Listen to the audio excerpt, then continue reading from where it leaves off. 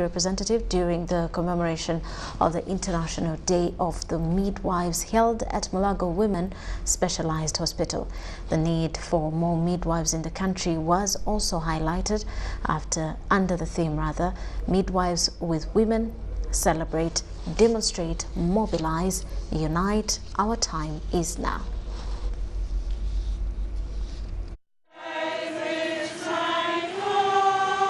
The International Midwives Day in Uganda was held at Mulago Women's Specialized Hospital.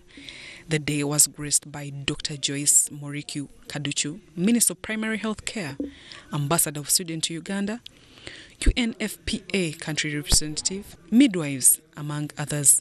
Because when you look at the high uh, fertility rate, when we look at the number of mothers delivering at the facility, the over 12,000 midwives still is not adequate for the population of Uganda.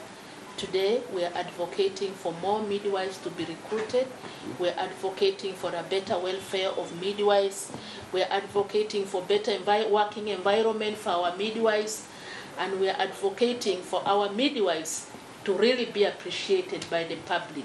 Yeah. The day was aimed at raising awareness about the status of midwives and essential care they provide to mothers and the newborns. COVID-19 pandemic has also hindered maternal health in various ways. At the beginning of February, Uganda registered 12 weekly maternal deaths. At the beginning of April, that number was 78 so an increase from 12 to 78 weekly maternal deaths. The minister attributes the increase of maternal mortality to inadequate transport of mothers and health workers to health facilities on time. COVID 19 has disrupted the existing services. Last week I was in Kawempe Hospital discussing the same issue. There are no antenatal care services. They had closed the services. They are trying to reopen this week. In very many hospitals, their antenatal care services are not there.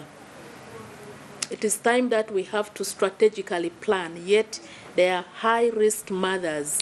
Midwives are the main caregivers for women and their newborns during pregnancy, labor, childbirth, and in post delivery period.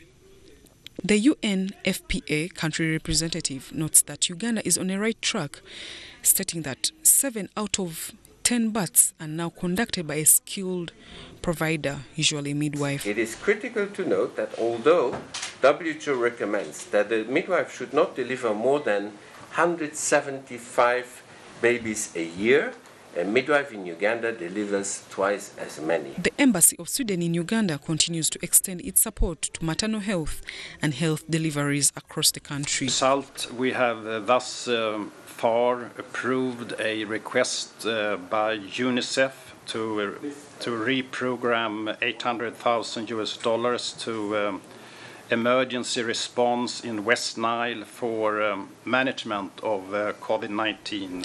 The director of Mulago Women's Specialized Hospital notes that they have a deficit of midwives to cope up with the large numbers of mothers. And according to the approved structure, we are supposed to have over 400 midwives.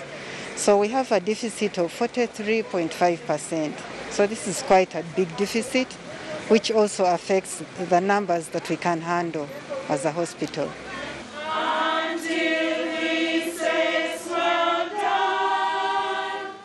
UNFPA has supported the Uganda Nurses and Midwives Council to establish a geographic information system that will track nurses and midwives in the country to ensure proper deployment and validity of practice rendered to the community.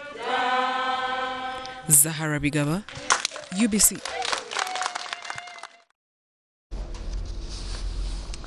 Meanwhile, schools and uh,